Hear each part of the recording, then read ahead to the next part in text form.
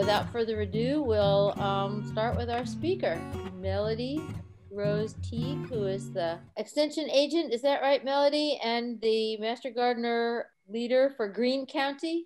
And she's been running a really interesting class on Mondays, Melody's Monday Musings, where she has just been stuffing our brains with the most incredible information. She's been uh, she's been at Greene County for how long have you been there, Melody? Since 2009. 2009. Yeah. And you're also on the uh, University of Tennessee Extension's Consumer Horticulture team. And you're the current chair of the Fruit and Vegetable Work Group, director of both the Greene County County Fair, Greene County Fair Board and the Greene County Historical Museum. And she's involved with the Tennessee Association of Agriculture Agents and Specialists. Tonight, Melody's going to talk to us about the Appalachian region and without further ado, I'm going to hand it over to Melody. All right. Thank you. And thank you all so much for having me. And, and uh, like Suzanne said, I've been doing these classes since um, about March the 30th. So if any of you have been attending those, you're going to get little snippets of about three of those kind of meshed together here this evening. Um, but I, I, have been focusing a little bit on uh, the Appalachian region uh, because we are all a part of that region. And um, it, we always talk about planting the right plant in the right place. And, you know, oftentimes I think that goes back to just knowing where those plants evolve from, uh, what are native and, and that kind of thing. And so I kind of went way back and started looking at the region and found you know, some interesting things. And that's kind of how that evolved. So um, I do have an interest too in just the Appalachian region because I tell everybody it's kind of the trifecta with me because I grew up in Western North Carolina I went to school uh, for undergrad in Kentucky and then I landed in East Tennessee. So um, that's kind of how all of that worked out. Uh, but to get us uh, started tonight, I just wanted to um, bring that word to light about being uh, native because we have really, well, we know that there's a huge interest there. And I think that we're going to start to see maybe this mentioned a little bit more um, as we move through 2021. And Suzanne was actually one that mentioned the, the pollinator pathway a couple of weeks ago and and some Zoom meeting we were we were a part of. Um, but we we've not spent a lot of time as a state work group talking about natives, but uh, I think it's really critical to mention that. And um, as you're going to see from to, tonight's presentation, uh, we have so many plants from our region uh, that are native that we can utilize in our home gardens and landscapes, and it's it's quite phenomenal. Uh, but just to kind of make mention, when we do talk about um, natives, they're not considered native to a region uh, with, within decades or even centuries after they're first introduced. Uh, they've got to originate into the region or co-evolve with other species in the regions uh, for thousands of years. So they basically just adapt uh, to the environment. So it's kind of like us if, if we move from place to place, we're always going to be a native to somewhere. But even though I'm a native Western North Carolina, Carolina gal, I'm, i still consider myself a native of East Tennessee because I've been here for so long. Uh, when we do talk about the Appalachian region, uh, we got to remember that um, we will often dub Appalachia this area that you see highlighted here in red more often uh, than not. It's going to be about a 1500 mile stretch, um, but we all know that the Appalachian chain is, is quite or much larger um, than that. But for tonight, we're going to focus a little bit more on the southern Appalachian, and more specifically East Tennessee, with a little bit of Western North Carolina tossed in there too, because so much of that uh, does have a heavy influence where y'all are at, um, as well as where where I'm at. Uh, this is just a map showing where a lot of our um, ancestry comes from. A lot of the plants uh, that we see today, especially in our herb gardens, would have uh, been brought from this area of northern Scotland. And oftentimes you will you will hear some of those similarities. So just kind of remember that as we move through this evening as well. Um, again, Appalachian is going to re refer to very different regions throughout this entire chain that you see highlighted here in the brown. And you'll notice that up there in the corner, we do have areas of Newfoundland off the coast of Canada that are also a part of the Appalachian chain. And you can kind of see that a little bit better here because in their entirety, they're about 2,000 miles long and they're going to be the, the physical barrier that separates the coast from the vast interior lowlands of the United States. And again, just to kind of show that, just trying to frame tonight's conversation which I'm sure all of you are well aware of that, but even keep in mind if any of you have been to Nova Scotia, uh, Cape Breton Islands, that's a popular tourist location, all of that is included in the Appalachian chain as well.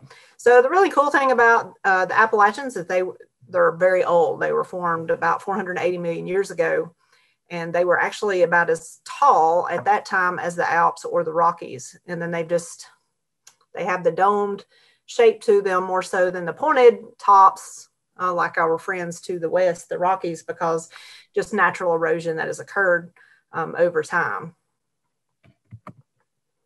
Uh, the really cool thing is that um, the Appalachians were once an extension of the Caledonian Mountains, which are in present day Scotland and in Scandinavia. And you can kind of see that picture there.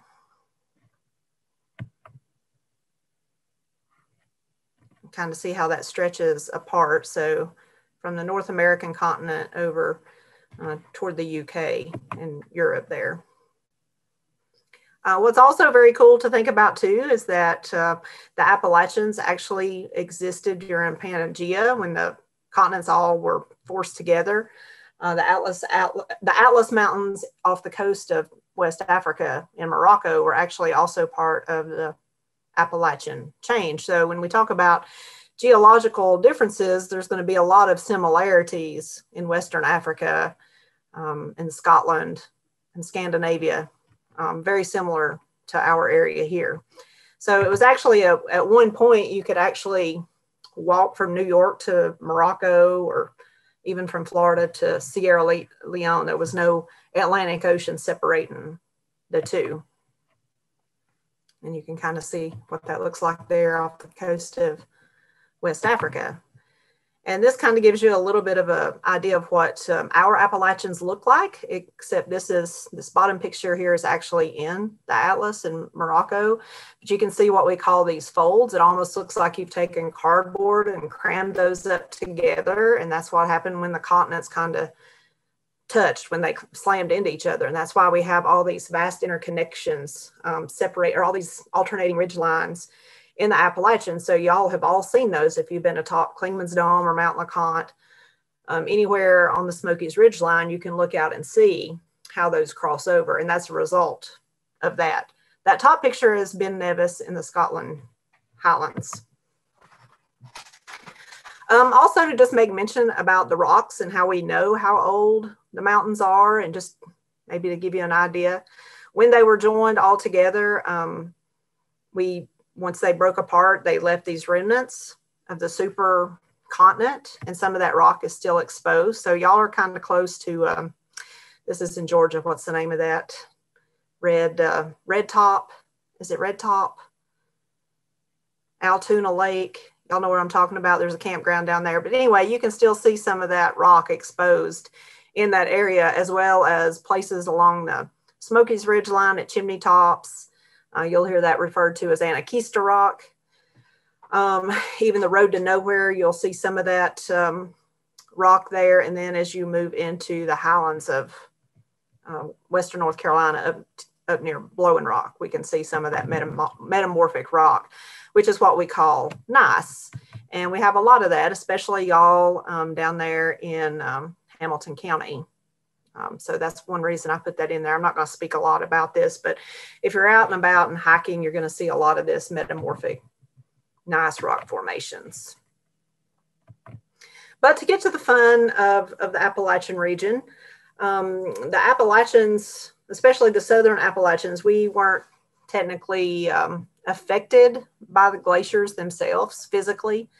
Um, and you'll often hear us refer to the Southern Appalachian as being non-glaciated. And what does that mean exactly? And, and that just means that um, as glaciers occurred, basically everything slid off the mountain, for lack of a better word, and brought this huge hot seed bed. And that's why we have such a distinct uh, flora and fauna native, you see that in quotation marks, um, to our area now. Um, but some of the species that technically didn't evolve here, but during the ice age, they were kind of brought here as a result of that was uh, some species of the red squirrel. And then also some different species of junipers. And even a lot of our plant species above that 5,500 foot, some of the firs, um, those were also, you often hear that referred to as a boreal forest or an alpine forest. And the reason for that is if you travel into the White Mountains or anywhere, you know, further north of the, way further north of the Mason-Dixon line, that's, that's what that's termed. And that's a result of glaciers, even though we didn't have those glaciers here. But as a result, again, there's about 2,000 species of flora and 200 of those are going to be native and wholly confined just to the Southern Appalachian area. It's a very um, complex interdependent system of plant growth. It's considered one of the greatest floral provinces on earth. And probably one that you all recognize would be up around Roan Mountain, the Catawba rhododendrons, which are uh, native species to that area, as well as about 15 different species of mushrooms or fungi as well. When we talk about the Southern Appalachians or the Appalachians in general, uh, we're home to about 158 different species of trees. That's more than anywhere else in North America. And you'll see there deciduous oak and the coniferous spruce fir forest. And I just make mention of that because where y'all are at, and as well as where I'm at, we get to take advantage of these um, ecosystems, uh, probably more so than really anybody else in the state. So it's really cool to be able to just walk outside and look around and be able to, to see some of that. Uh, we're, we're unique in the Southern Appalachian too, because we do have the highest peak east of the Rockies at 6684. This is in the Black Mountains, which is a sub-range of the Appalachian Mountains right, right outside of Asheville, uh, which is Mount Mitchell. So some of you have probably seen this in chapter two of your um, in or of your training books. Uh, we included that a few years ago when we redid the handbook because we thought this was really important, uh, you know, to be able to share some of these different um, ecosystems um, across the state. Uh, but I just wanted to make mention of some of those and put a, a, few plants, kind of put that in, in perspective a little bit for you. So when we talk about the Appalachians, uh, we mentioned a temperate rainforest. Uh, many folks that are not native to the area don't realize that you know we we are in fact, especially Mount LeConte, that area again is uh, referred to as a rainforest. So it's not always the Brazilian rainforest that that we speak of when we use that terminology, because there's about 135,000 square um, miles of forest land that would fall into this category. Um, annually, the precipitation is going to be about 60 inches. Um, some years it's going to be a little bit more than that.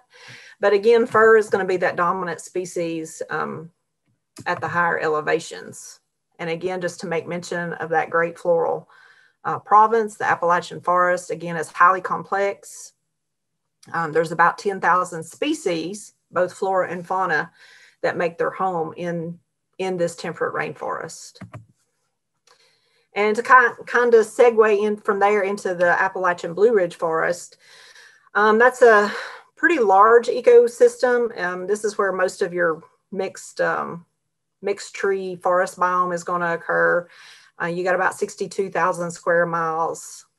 Um, it's going to be one of the world's uh, richest temperate uh, regions for deciduous trees anywhere, which is going to bring with that so much more biodiversity in terms of flora and, and fauna again.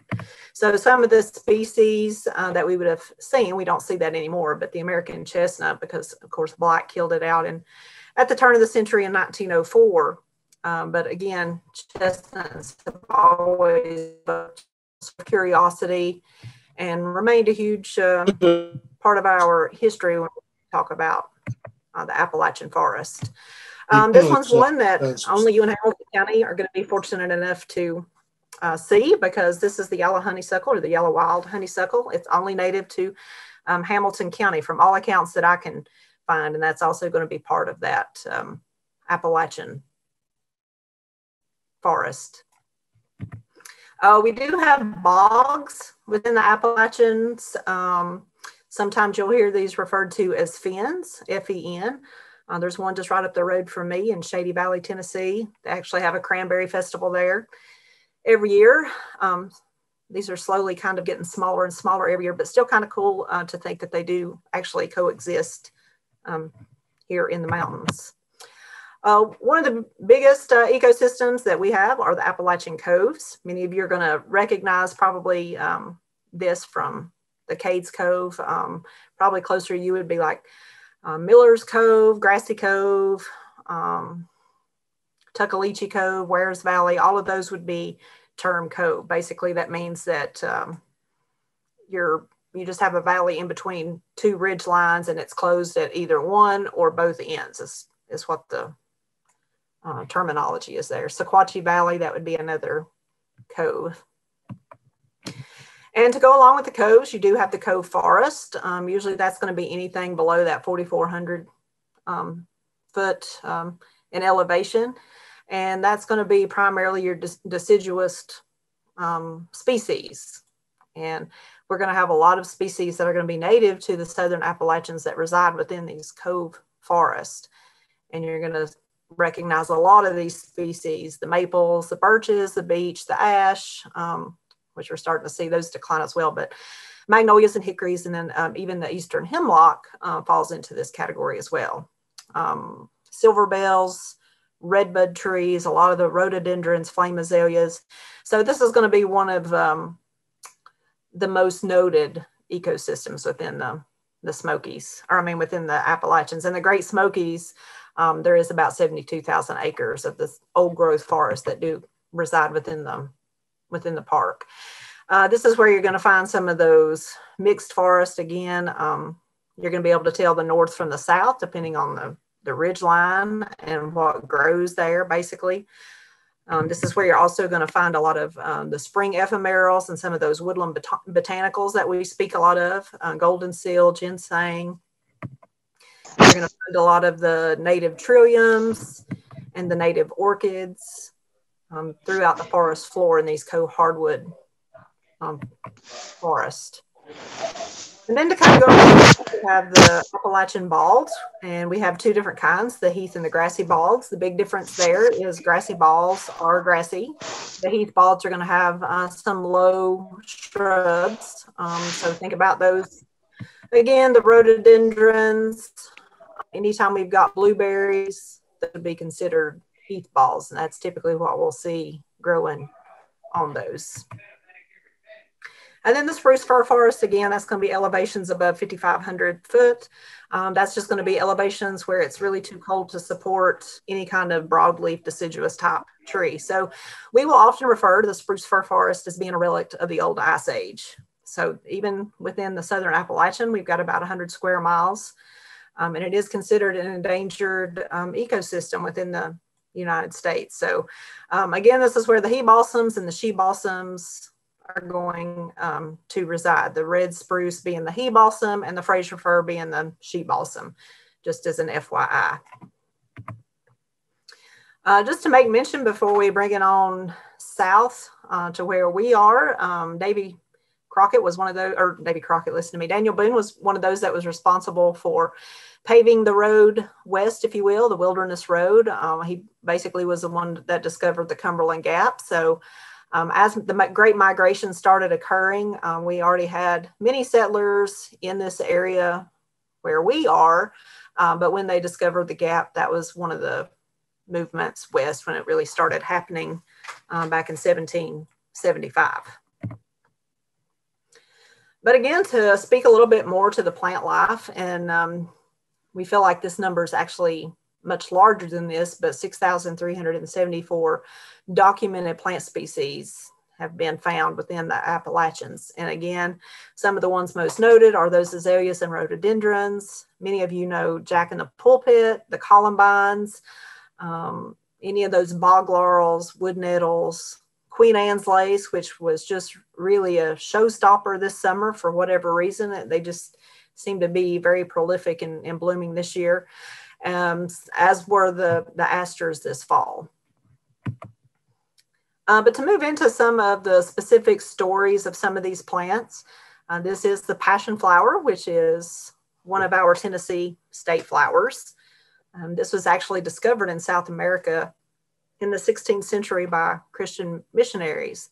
Um, but it, it kind of tells a story, as many of the plants within our Southern Appalachian region do. So uh, when they first brought this over, they saw it as being a symbol of Jesus Christ because it was the first flower that they saw on their journey, and they saw that as a good sign. So they were even able to describe that they thought the five sepals and the five petals of the passion flower represented the 10 disciples, um, minus Judas and Peter.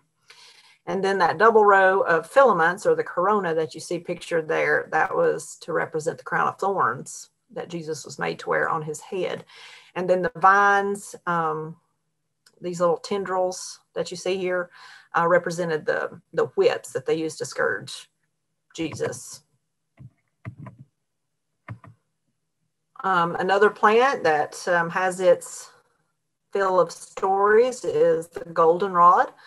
Um, this was a plant that Native Americans loved. It was very bountiful, still is in our cove hardwoods. Um, but um, this was one that the seeds were actually utilized as a as a food source. And of course, herbal teas are still made with this today. But um, this is this is one that gets a bad rap. Everybody sees this blooming in the fall and they think that it's ragweed. But it's very different from ragweed. Ragweed has a uh, really, or this one, goldenrod has a really sticky pollen and it can't be blown or dispersed by the wind uh, like ragweed. So this one is actually um, what most, again, of our Native American populations and early settlers deemed uh, a healthy and useful plant. And that's what the ragweed looks like. Yeah. Um, another one, this is um, an herb that derives its name from the Cree, uh, which literally means break into small pieces. Um, I don't call it that. I just call it wintergreen because it's so much easier to say. But it is a dainty little flower as you're hiking along a trail. Um, it often gets overlooked because it might not be quite as showy as, as some of its um, counterparts. Um, but it does have a really cool, you can see that pinkish white um, flower and it looks face down. So it's still used as a flavoring in food today for candy. And again, Native Americans and, and our early settlers, they called this princess pine, uh, princess pine and utilized it for a wealth of um, all kinds of wound cleaners and things like that. Chicory, this is a plant many of you probably recognize. Um, this was cultivated 5,000 years ago. Probably what most people would recognize its use for is being a substitute uh, for coffee, chicory coffee, and especially um, in areas of Louisiana. Many cafes only serve chicory instead of coffee. So it has a really uh, cool story to it as well. You can see there, um, even Horace wrote, As for me, olives, endives, and mallows provide sustenance, and uh, we feel like he was referring to chicory. Uh, many of you probably recognize this plant as being ramps or our native wild leeks. They are native to the eastern North American Appalachians. Uh, you're going to find those growing in patches of rich, moist um, cove hardwood uh, forest. They're going to pretty well extend the entire spine of the Appalachian Ridge from Canada all the way into to Alabama. Uh, the cool thing about these, again, is that when we see these being um, harvested is is early in the spring. And the reason that they were touted as such a remarkable plant is because it was one of those first spring greens to emerge. And Native Americans and early settlers used it as the tonic, basically to get the blood flowing again uh, from a from a hard cold winter. But you can kind of see uh, just some various pictures there. When you do harvest, this kind of goes back to golden seal and Ginseng, um, you want to be careful. A lot of folks will harvest the entire plant, but the leaf actually tastes just like the bulb. So when you harvest, take one leaf and leave it so they can continue to spread, just like those nuisance wild garlics in our lawns. They uh, spread and divide, multiply, very similar to that. So um, I guess I'm just saying, I'm encouraging folks to just be cautious when you are harvesting because this is one that's starting to decline as well. So ramps are pretty well native to here. And much like the ramps, if you travel further north um, into the Green and the White Mountains, uh, fiddleheads are considered a delicacy there. You will also find these here in the Southern Appalachian, just not quite as prolific um, because there are some lookalikes. Uh, you got to make sure that this is the ostrich fern, but it is again considered a delicacy even in places Iceland, the Netherlands, um, Greenland. But it's a very short window to be able to harvest these, but they taste a lot, a lot like asparagus, a um, little bit of an earthy green uh, flavor. So that kind of brings us to ethnobotany and Appalachians. And I just wanted to mention this term because as you've noticed probably already, I've been speaking a lot about the relationships from uh, the region and the people and the plants and how all that kind of intertwines. And that's basically what ethnobotany is. It's just the study of those interactions and relationships of people and plants over time and space. So it's just being cognizant of the fact that, you know, many of us um, really promote recycling and taking care of the environment. It's kind of like that, but in the plant world, you know, we want to be uh, really cognizant of, of when we are out in the woods, whether we're wild foraging, whether we're hiking in the woods and we see a plant we like, you know, we don't we don't necessarily want to dig that up and take it home because uh, believe it or not, these plants have a defense mechanism oftentimes built into them anyway. So if you do that, they're just going to protest and not grow for you, especially some of those wild orchids like the lady slippers and such. So um, I would just caution you um, on that, but that's basically what ethno ethnobotany is. It's just an avenue of preservation for us to be able to u- utilize and then pass that on uh, for generations to come. Uh, so when we do talk about some of those common plants, um, what are some additional ones of those, you know, and we look back to the history books, you know, one of the, the things we think about are fruit trees like you see pictured here, but uh, I think I actually shared this Monday night, you know, apple trees were not native uh, to the US, those were brought over, but we did have wild fruit trees like the plums and the cherries. Um, but yeah, the peaches and apples, they weren't native to the area. Um, but anyway, these are still species that we'll see. Uh, many pioneers and, and homesteaders, they would journal where they saw these once they moved into the area. So if something were to, you know, happen to them, then the generations after them would be able to go back and, and find these locations, uh, whether it be fruit trees or any of these uh, useful plants. Um, that way it was kind of preserving and then passing that knowledge on for generations to come. Um, this is one maybe some of you recognize. This is the, the club moss plant. Um, and this is actually what um, midwives, granny women or doctors back in the day would coat their hands with the spores of the club moss, which is lycopodium powder, um, because it was considered to be an antiseptic. It was a very sterile um, plant. And today, you know, it's it, or years ago, it was basically what you know we used uh, to cover our hands before any kind of surgery or anything like that uh, was performed. Uh, the cool thing too is just recognizing again those relationships. So this plant here is is a spring ephemeral. We refer to it as hepatica, but the old name for it was liverwort because it kind of looks like um, the leaf looks kind of like a liver. And um, of course, wort is the old English for herb. So anytime you see that, that's what that means, just as an FYI. But um, the plant looked like the, the liver, and oftentimes the Native Americans or the early pioneers would call plants by what they look like or by what they would help heal in the body. So this is a great example to show, you know, that hepatica is one. It looks like the liver, but it, it was also utilized to treat liver ailments. And just as an FYI, it belongs to the uh, buttercup family. Same way with bloodroot. Its Latin is sanguinaria. And if you've ever cut open bloodroot, I thought I had a picture in here and I must not, but if you've ever cut that open, it looks like blood oozing from, from the stem. So um, plants weren't just used for medicinal uses. The natives actually utilized this as a as a war paint. It was utilized as a dye. Um, they would also use it for medication, though. They believed it treated rheumatism and and even uh, would help break fevers and use it as an oral antiseptic. Uh, sassafras, uh, this is one that was revered by the American Indians and the early settlers because it was basically um, America's first toothbrush, if you will. So the toothbrushes we know today were a little bit harder on the gums than uh, than they are today. Uh, butterfly weed, sometimes you will hear this called pleurisy root. So it's not just a great pollinator plant. Uh, it earned its name for pleurisy again because it was utilized to treat uh, lung ailments. Um, the blue cohosh and the black cohosh, both are um, woodland plants, woodland botanic botanicals that we'll see often on the trail.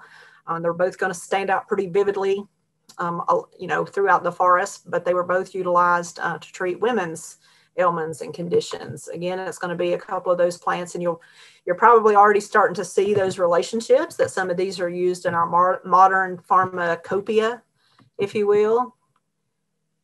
Kind of see some different pictures there.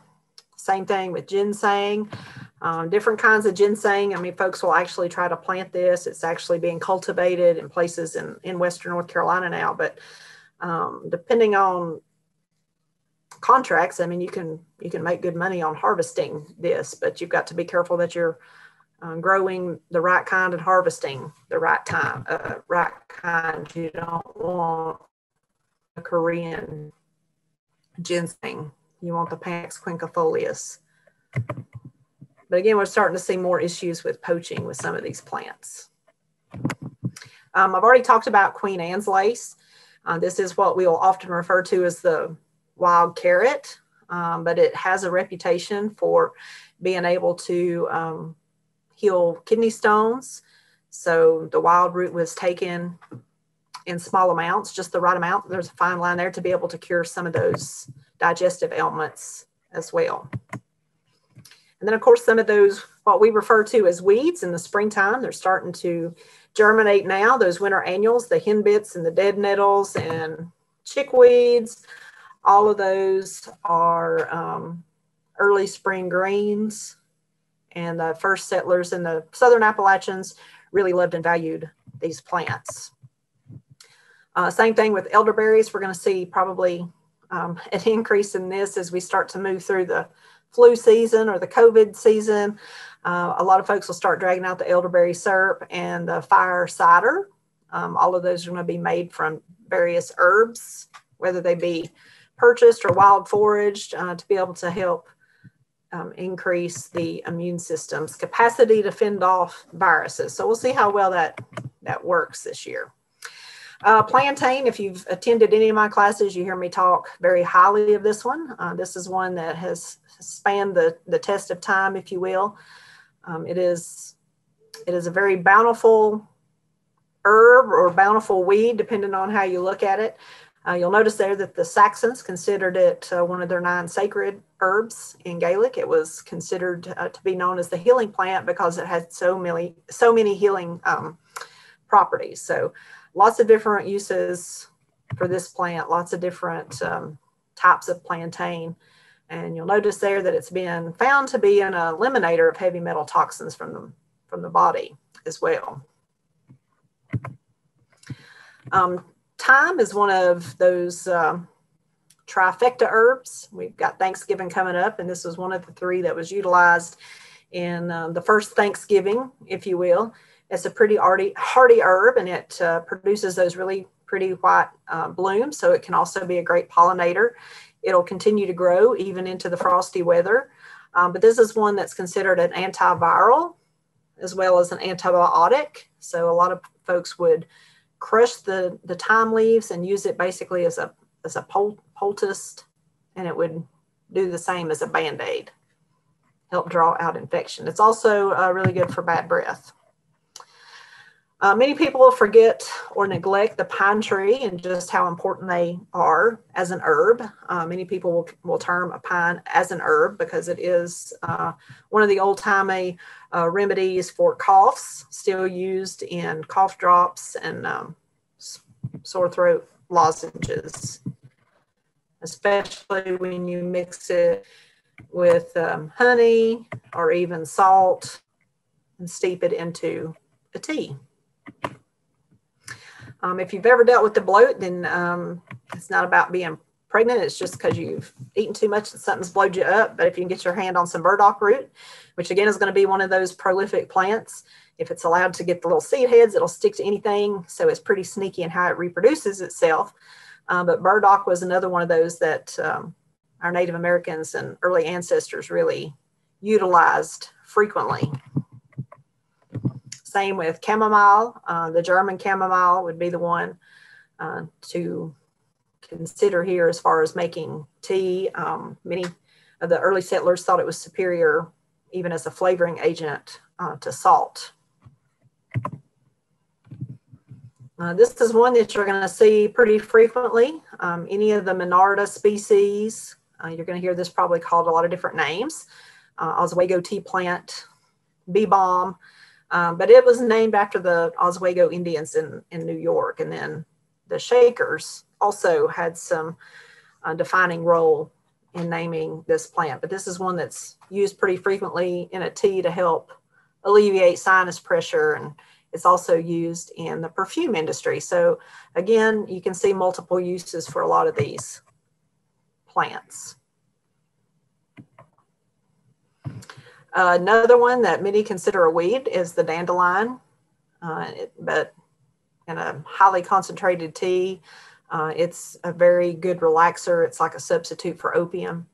Uh, it can also relieve digestive issues. Uh, lemon balm is going to be one of those. It spreads pretty prolifically in the landscape, but if you turn or make that into a tea, it's really good for any kind of stomach issues. Um, many of you probably know, is still utilized in a cough drop. Um, it is in the mint family, so it's going to be one of those that spreads really rapidly too. But it's also what we call a moonlight flower if you have a moonlight garden because of that grayish white foliage. So we're starting to see a little bit higher occurrence of some of these plants being grown just for that purpose too. Here's another one of those early herbs, uh, sage. A lot of folks just think, hey, this is what seasons the turkey and the dressing. Um, but it was actually utilized long ago as a lozenge to cure sore throats. And then marshmallow, if you um, are wanting to get started growing herbs, there's many modern day herbalists that will put this plant on their top 20 because it's a mucilaginous plant. It produces that mucus. It's a wet plant, um, but it does grow in swampy, wet areas. But it, you know, it has a pretty storied history as well as as well. It belongs to the in the same family as uh, cotton, okra, hibiscus, um, and you can utilize it uh, to make different kinds of tea as well. If you've ever gotten poison ivy, enough said about jewelweed. Um, this is often going to be grown very closely. So where if you ever see poison ivy, you're probably going to see jewelweed somewhere close. Um, this is what we also call the wild touch me not, wild impatient, uh, wild impatiens. You've got the yellow and the orange color, but um, again, if you can get your hands on jewelweed, it's an excellent uh, cure-all for poison oak or poison ivy.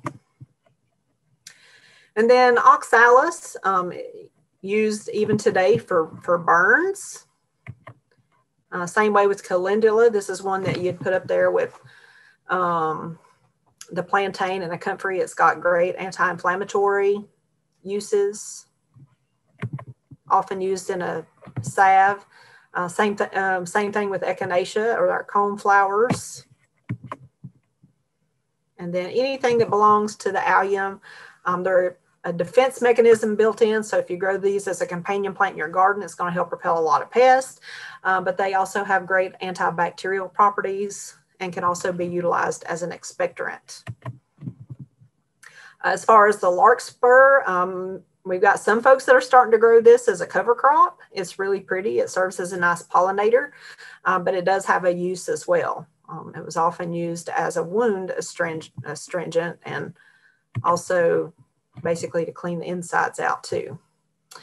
Uh, yarrow is not just a pretty plant, it comes in different colors. Uh, but again, this is one of those plants that tell a story. This is one that was utilized for blood clotting purposes years ago. So uh, many of the plants that you've seen so so far, they weren't necessarily grown to be pretty in their gardens, in their in their landscape. Of course, they were used in a pragmatic um, and practical approach to be able to cure everyday ailments, um, you know, on the homestead. Cotton even has some unique um, uses. You could utilize that, of course, for um, bandaging. You could utilize it for even splinting. And um, a tea was utilized to actually treat uh, mosquito bites and malaria. We have plants that were used as substitutes for soda and starch and sugar. So corn cobs were cooked down and utilized to make a dough, preferably red cobs. Um, if they needed salt, we had this question Monday night um, because salt was one of those um, commodities that needed to be imported during the first colonies here. And somebody asked, why not use salt out of the ocean? Um, and eventually, they did have their own method of salt because they would dig um, dirt floors where they had actually um, had the smokehouse and they would boil that that soil down from where that salt from the, where the meat had dripped into the floor and they would utilize that as a as a source for salt too. Um, for sweet tea they would actually take up um, or take dried peaches. They would when peaches started being imported they would cut those up and let them dry and that's what they would use to make sweet tea. Again, plants were utilized for various purposes. So many were used for dye, for linens. Um, they would fade over time, but they would just reutilize some of the plants. Some of those that you see here are uh, myrtle was used to make a gray color, especially um, for some of the con Confederate uniforms. The indigo bush, of course, has a gorgeous blue dye. Pokeberries, um, those are very toxic uh, to us as humans, but they make a, a great dye and they're good food for the birds too. And then even sweet potatoes could be utilized um, as a putty. So back in the day, settlers would actually cook this down and um, when the mash was hot, they would mix it with flour and and use that to uh, mend any kind of pitchers or housewares that had like a hole or anything like that in it. And another plant, if you're ever lucky enough to be hiking and see these, that's pretty cool. Uh, these are what we call Indian pipes. They don't require photosynthesis, hence the reason they're white. Um, but they'll even leave their stature throughout the winter months. So it's a really cool plant to be able to see. Um, most would consider this a parasite. And then, of course, when we talk about the Appalachians, we always talk about the mints, and we've got native uh, Pycnanthemum species of mint. This here is the Mentha piperita, which is not native, um, but that's usually what you're going to have in in the flavoring for modern day candy. But the old timey mint, the old mountain mint, this is what that looks like here. Um, I always like to talk about the humble mayapple. Many of you probably heard me mention that before, but um, the mayapple is another one of those that we see blooming in the springtime. You can see the fruit there, see what the flower looks like. Um, but there'll be large colonies that exist uh, within the forest floor of these. But uh, this has really come a long way in modern day um, pharmaceuticals now being evaluated as cancer treatments. Um, but again, their history goes way back uh, to the Native Americans. They utilized um, every part of this plant in some form or, or fashion. You can see there that uh, the actual fruit itself was used as a as a laxative, or that first picture you saw, it was helped to remove warts. Uh, this is one that's really been touted in the last few years, the St. John's wort. It's known as the Prozac of Europe uh, that's been brought here. This is another one of those plants that would be on the top 20 um, herbs to grow if you're growing your own uh, pharmaceutical, if you will. Um, but this is, um, again, good on the, on the mood, if you will. Uh, the witch hazel, and it does need to be the Hamamelis virginiana, which is the native species, because there are some different cultivars. But this is where a lot of the modern day astringents uh, come from that ladies use in their morning and evening um, rituals, bath rituals, um, a, a, toner, if, if you will. And then just to talk a little bit about some of these plants that we see, some of the the poppies growing.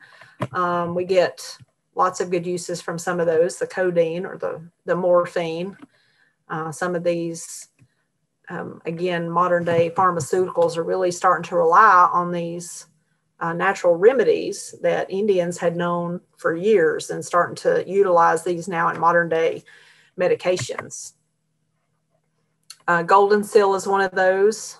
Um, berberine, it's one that's going to lower your blood pressure and um, for irregular heartbeats. Um, Vaseline, it's a vasodilator. It's good for blood sugar and, and um, blood cholesterol as well. And then lobelia, this is one that was blooming pretty prolifically for me even up until a couple of weeks ago, but um, this is also called Indian tobacco, um, but it's one that's actually utilized in some of those over-the-counter nicotine uh, suppressant to help you get to, to break the habit. Uh, we already talked about blue cohosh. This is the black cohosh, again, used in many of our modern day products. And then I can't talk about um, anything without bringing tobacco into to play, but imidacloprid um, is a synthetic form of nicotine.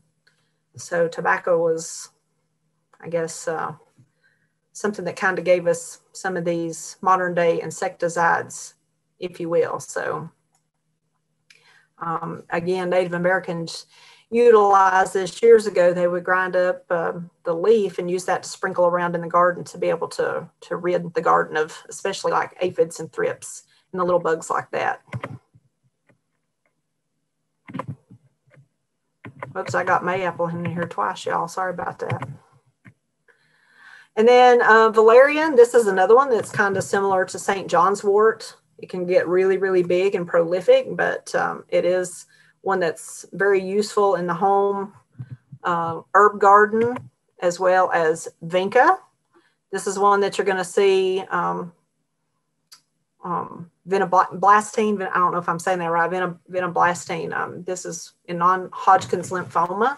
Is what they're treating treating with, and that is all derived from the vinca plant. There's actually about 54 different cancer treatments now being studied just from this one plant alone. So it's pretty cool to know that a lot of our modern day pharmacopoeia is coming from plants of the southern Appalachian region from years ago that our ancestors and the Native Americans here knew long before any of us. Uh, same way with the lady slipper, even though it's beautiful, it does have its, its own use. Um, they would utilize this often for women's issues and childbirthing. Uh, midwives love this plant uh, for that purpose. And then violets, if y'all have seen some of Natalie's wildflower walks, you know, she has a very prolific stand of violets in her backyard. Um, but violets were often seen just like the ramps were. They were seen as a springtime tonic. Uh, they were an anti-cancer uh, folk herb and a pulmonary remedy back in the day um, for early settlers, just as the stinging nettles are uh, today. Uh, stinging nettles are also considered a blood builder. So if you have low blood, uh, many many folks, even modern day, uh, will sip nettles tea to help build their build their blood up. And then, of course, um, caneberries. Um, our fruit and veggie team is making a push you know, this year and next year into more fruit uh, specific uh, content. So caneberries is one of the uh, fruits we're going to be focusing on. And of course, uh, some of those species existed here long before uh, we did and were a great source of sweetness um, to our early settlers and our Native Americans. And they have a lot of uh, nutritional value as well. And even the leaves can be utilized as well.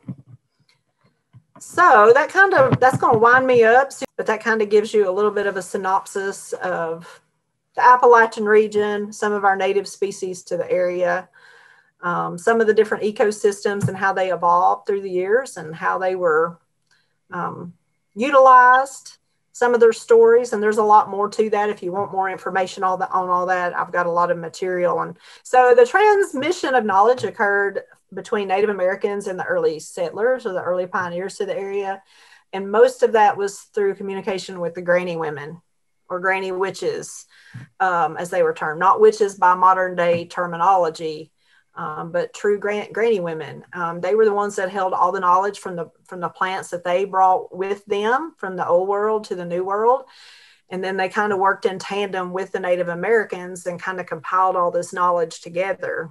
And um, of course, the Native Americans had access to so much more uh, plants, and so many of these were new uh, when the settlers first arrived. But with the plants that they brought, they were able to kind of mesh all those cultures together and they intermingled, and that's kind of where where we are today as a result. Hey, Melody, uh, Ron McKittrick again. Uh, I was just wondering, you mentioned Vinca and Queen Anne's lace, and uh, are they considered? Uh, uh, I know there's a lot of different common names and that kind of stuff, but are, aren't they considered invasive uh, species now in, in Tennessee and taking over taking over other habitats? Yes, especially the periwinkle or Vinca minor absolutely. Um, it is on the invasive species list.